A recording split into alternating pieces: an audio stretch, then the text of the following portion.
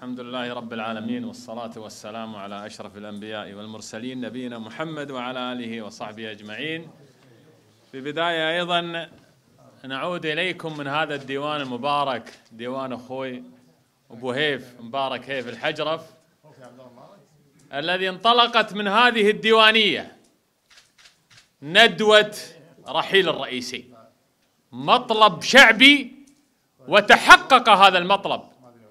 اولا بفضل الله عز وجل ثم بإرادة الشعب الكويتي الذي وقف خلف نوابه الأبطال في مجلس 2020 ولن نقبل بعودة الحقبة الماضية الفاسدة.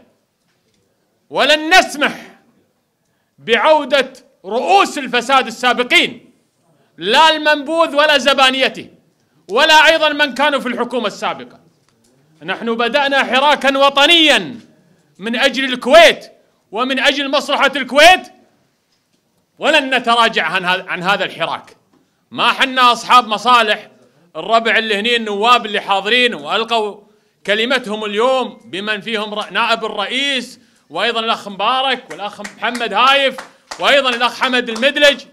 والذي لم يحضر منعته الظروف من هذا الحضور وهذه الندوة لا تهمهم الكراسي ترى لا تظنون أن تهم الكراسي. هذول هم اللي طالبوا في حل المجلس 2020 من أجل الشعب الكويتي من أجل عدم استمرار الفاسدين من أجل رحيل الرئيسين الذين تحالفوا ضد مطالب الشعب الكويتي. لذلك هذا المجلس هو مجلس الأمة هو مجلس الشعب الكويتي. حركوا إعلامهم ما حركوه قاموا ينتقدون. ترى الفساد اللي نعاني فيه في الوقت الحالي هو أثرهم. هو فسادهم الذي كانوا يعيشون وعيشوا الشعب الكويتي هذا الفساد. تحرك إعلامكم فاسدينكم نعرف من يتحرك في هذه الفترة. حاطين نفسهم شرفاء ومدافعين عن البلد وحماة لحقوق المواطنين وهم أفسد الناس. طبعا ليس الكل هنالك مجموعة من الناس يتكلمون بصدق وصراحة ولهم الحق في الانتقاد. لكن تكلم عن المجموعة اللي معروفين أذناب. المنبوذ وأتباعه. أذناب الرئيسين السابقين. لا تقصون على الناس الآن طالعين والله شرفاء. وينكم عن أكبر فساد حصل في حقبة البلد في عشر سنوات الماضية. إيش قاعد تسوون؟ كنتوا تطبلون لأنكم مستفيدين. قابضين. مصالحكم ماشية. لكن لما جاء هؤلاء الرجال الذين انتخبهم الشعب الكويتي. والحين نقول مجلس 2022 هو مجلس الشعب الكويتي. 90% من أعضائه يمثلون الأمة بالحق. مو مثل المجلس الذي تغيرت قناعاته. ما ندري من دفع لهم وغير قناعات بعض الناس. وتحالف الرئيسين ضد الشعب. وضد من انتخبهم الشعب من أجل مصلحة البلد. لا. شيلوا من بالكم إنكم تفرون الإعلام. ترى الناس كاشفتكم. لا تقولون في فساد الفساد الذي نعاني منه الآن هو فساد ربعكم ومعازيبكم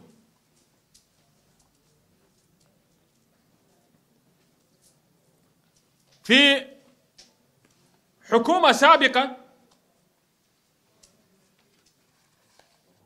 كانت الدنيا كلها طبعا تكلم الآن من يدير البلد؟ في كل الأمور السابقة يعني الحين تكلم أخوي أبو عبد الله عن الشوارع. والله والله اللي عنده إحساس يقول لما يشوف شوارع الكويت يقول إن الحكومة واللي ساكت عن هذا الوضع هو يكره الشعب الكويتي. يكره الشعب الكويتي. شلون؟ لأنه قاعد يسبب مشاكل.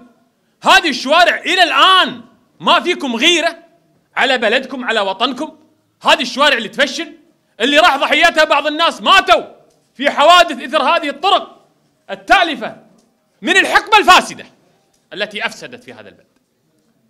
ترى في النهاية الحكومات ما يشكلها الشعب الكويتي. الشعب الكويتي ينتخب ينتخب نوابا وكانت تدير العملية الانتخابية هي الحكومة السلطة التنفيذية. كان الذي يغير قناعاته ويخون الشعب الكويتي ثم يكتشف الشعب الكويتي بأنه خان أثناء المجلس كان يسقطه ما يعود من اللي يعود يعود اللي تحايل بالكذب والتزوير عن طريق شراء الأصوات ونقل الأصوات. ومن اللي يسمح له بشراء الأصوات؟ ومن اللي يسمح له بنقل الأصوات؟ حكومة. في النهاية ترى المتهم في قضية الناقلات شيخ والمتهم في صندوق الجيش شيخ والمتهم في الصندوق الماليزي شيخ واليورو فايتر شيخ. والكركان شيخ. وأيضا البنغالي شيخ. ترى مو الشعب اللي حطهم في هذه المناصب. مو الشعب اللي انتخبهم وحطهم في هذه المناصب. شوفوا الخلل عندكم وعالجوه. لا تحملون الشعب مشاكلكم وإخفاقاتكم وفسادكم. تحملون الشعب. مو صحيح إن الشعب الكويتي يتحمل هذا الفساد خلال كل هذه الفترة. والهدر والسرقات من من المال العام. ثم يأتون أيضا بتحالف تجار. ترى المقاولين اللي سووا الفساد اللي نشوفه في في البلد وفي البنية التحتية. ترى ربعكم شركات معروفة عوائل معروفة ويتحالفون مع الشيوخ. يجي واحد وزير تجارة أسبق يغير في القانون يغير في القانون يغير بس كلمة محلي ووطني علشان يستفيد شخص واحد من مناقصات وزارة الكهرباء. مقاول واحد فقط لأنه هو الوحيد. شو يسوي المقاول؟ لأن القانون ما يسمح له بروحه يجيب واحد ثاني يختم له عن شركته. لعب ومهزله حتى لا يدخل عليهم والله الشركات الخليجية تقدم خدمات أفضل ومبالغ أقل وتوفير للمال العام وصيانة وخدمة وينكشف سوءتهم أمام الأمة وهي من كشفه الامانه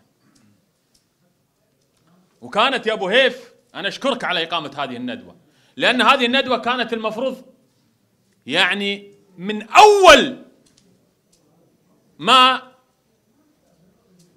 اتخذت الحكومة ذلك القرار الأحمق أنا أسميه بعدم حضورها للجلسة.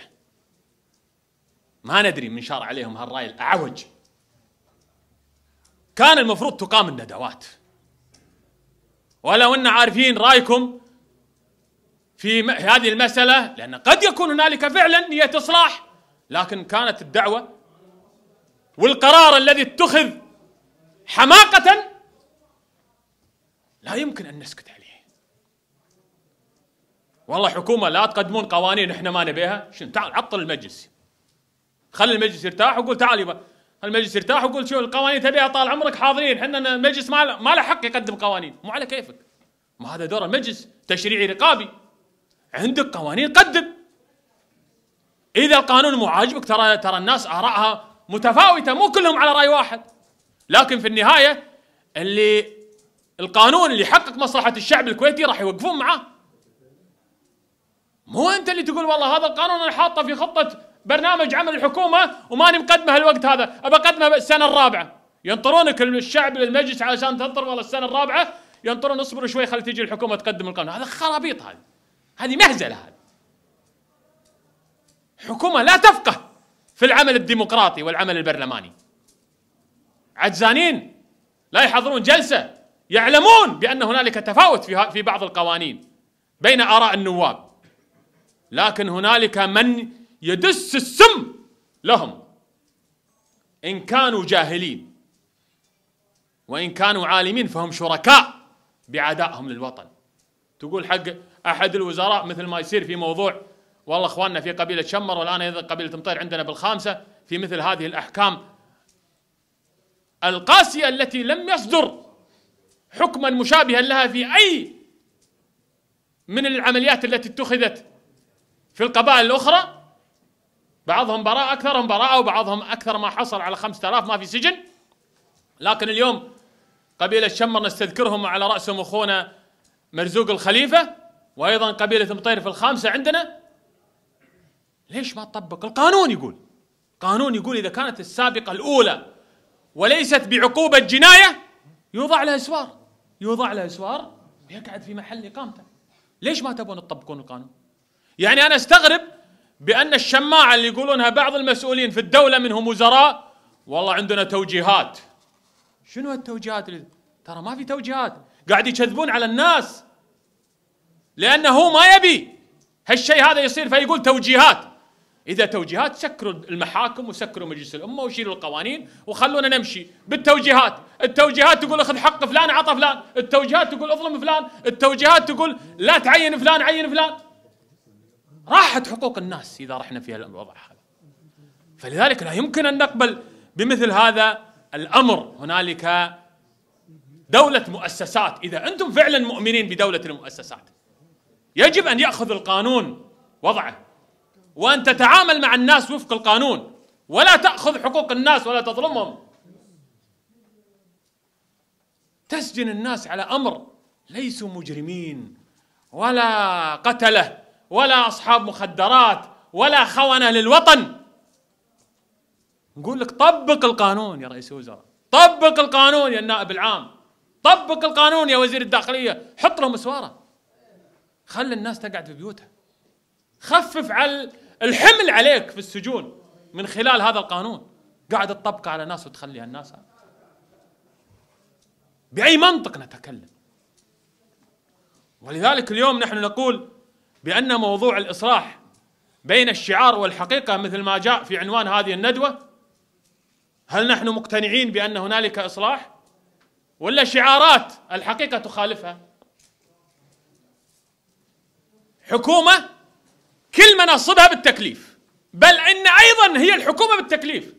يجيبون وزراء همهم والله العداء لموظفين وزارته مثل ما سوى وزير الأوقاف.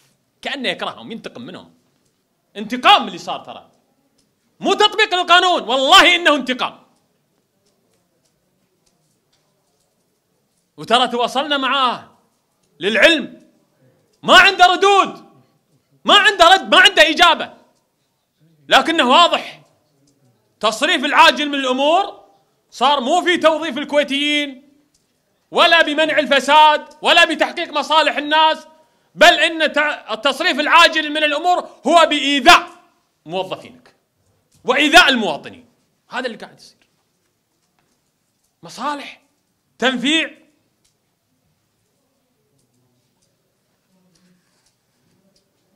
لذلك نحن نقول أيضا في موضوع بأن الدستور مطالب أنتم كقيادة وكأسرة حكم وكحكومة. يا أخي الدستور هذا حفظ حقوقكم أنتم قبل حقوق الناس. أنتم المفروض تحافظون عليه. أنتم المفروض اللي تحمونه. أنتم المفروض اللي تدافعون عنه. مو تعطرونه بالصورة هذه. ترى الشعب الكويتي كان قبل الدستور. وهو ولاءه التام للأسرة وللنظام. وجاءت الوثيقة باتفاق الأمة وباتفاق الشعب الكويتي حتى يحفظ لكم هذا الحق.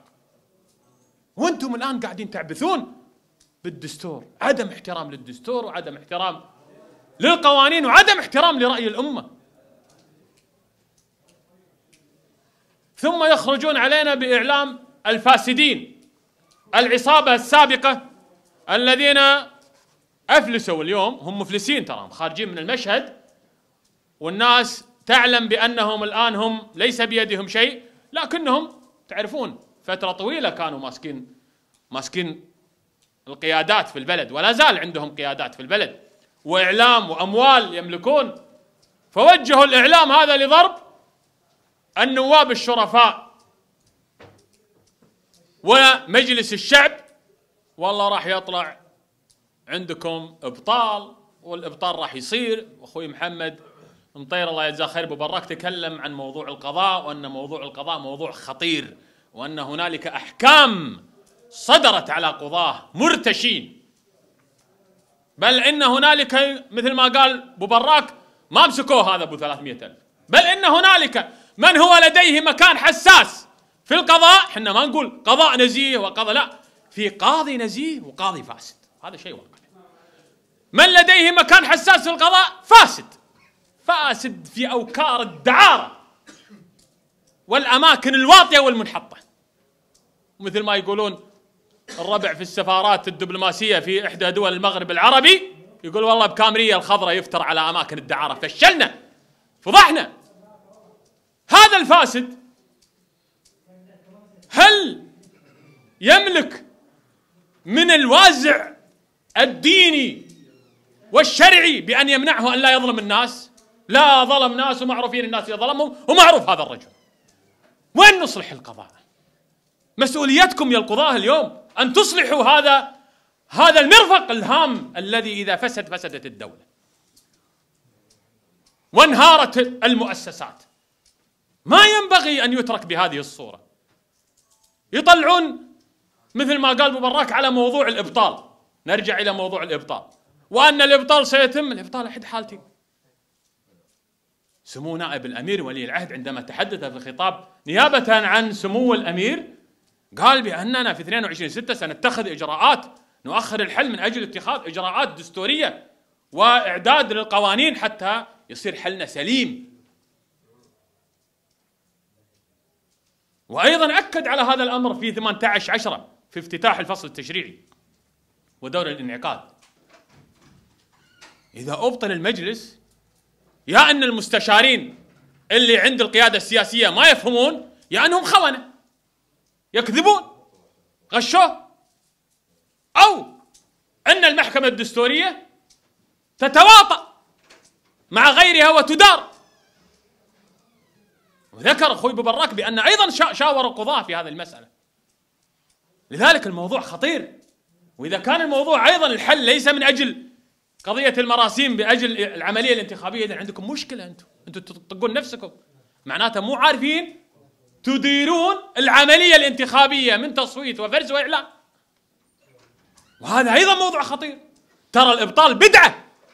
اتخذت في 2012 ونعرف شنو سبب إصدار الإبطال. في 2012 نعرف أسباب الإبطال لماذا تم الإبطال. لأن أول مرة في تاريخ الكويت يأتي مجلس اغلبيته لا تملك الحكومة. وأيضا المجلس هذا اغلبيته لا تملك الحكومة. فعينكم على اللي بيصير. الحكومة اللي عاجزة وغير قادرة على أن تواجه ممثلي الأمة ونواب الأمة في اقتراحاتهم وتشريعاتهم ورقابتهم لا يجون. وبعدين ما هي سالفة. قدم استقالتك يقعد لك شهر شهرين اللي قالته جريده الجريدة معناتها صحيح. عبث ولعب بالمدد. إيش خايفين منه أنتم؟ عندكم مشكلة فيكم بلاء بتسوون شيء غلط؟ ما تبون تقعدون مع المجلس؟ قولوا للناس. مو لاقين رجال؟ ترى الكويت ولادة وفيها ناس فيهم خير كثيرين يستطيعون أن يكونوا رجال دولة.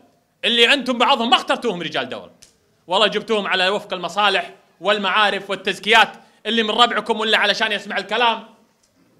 مسؤولية رئيس الوزراء القادم أن يأتينا برجال دولة.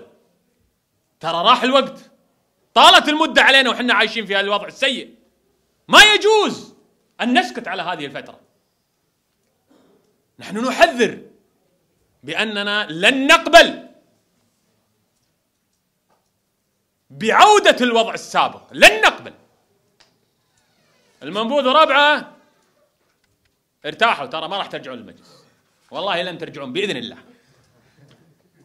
ورجعتوا والله لن لن نجلس في بيوتنا. سنقف في كل منبر وكل مكان.